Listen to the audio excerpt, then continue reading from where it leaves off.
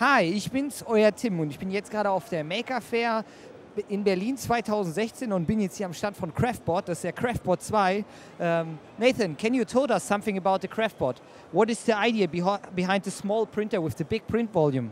Okay, the Craftbot pretty much was made, we were uh, makers ourselves and we made a machine that uh, we wanted to use and I think uh, having a sturdy, dependable uh, component system, a big build volume and a small shape uh, in a small size uh, printer uh, was optimal. And uh, we basically just built the printer that we wanted to make. And then the software and that came after, software and such, firmware came after that. And yeah, we've made, after we founded the business, we've made a lot of improvements. And we've recently released our third generation printer, the CraftBot 2 looks very great, the printer. Uh, but uh, I think one of the biggest questions, which materials can I print with it?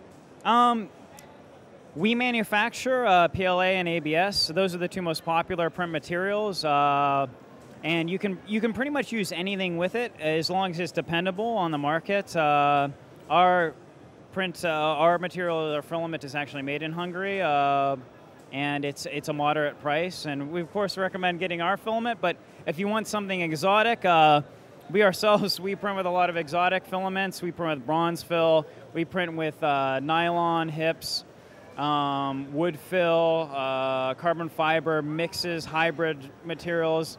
We get all types of cool things sent to us, dropped off at our place, and we are always looking to print with new stuff. Do you also try to print flex materials? Oh yes, absolutely. Flexible materials, um, the Ninja Flex. Uh, yeah, absolutely.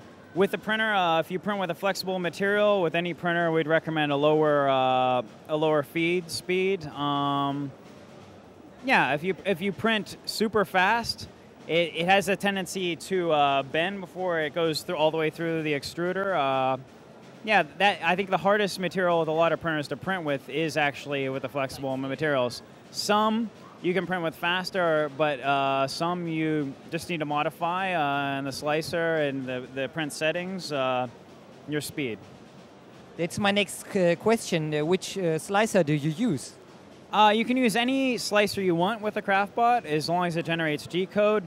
We make our own slicer. Uh, for the moment, it's free to download from our website uh, at craftunique.com. Uh, it's called Craftware, and uh, as we know it now, it is uh, the fastest. And if there's a faster one, we'll, uh, we'd like to see it, and we, we would make changes to ours. The, the visual aspect of Craftware is impressive, to say the least, and the my favorite thing is the parameters. You can go into an expert mode on it. You can have a default mode, which does very well, but you can go into expert mode. You can change all the supports that it would generate. One by one, you can create your own supports.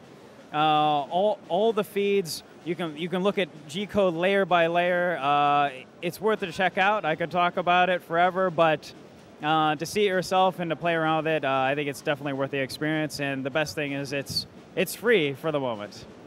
I will download it. So uh, thanks for the interview and have a nice day. All right, thanks a lot, and uh, it's good to be here at the Maker Faire in Berlin.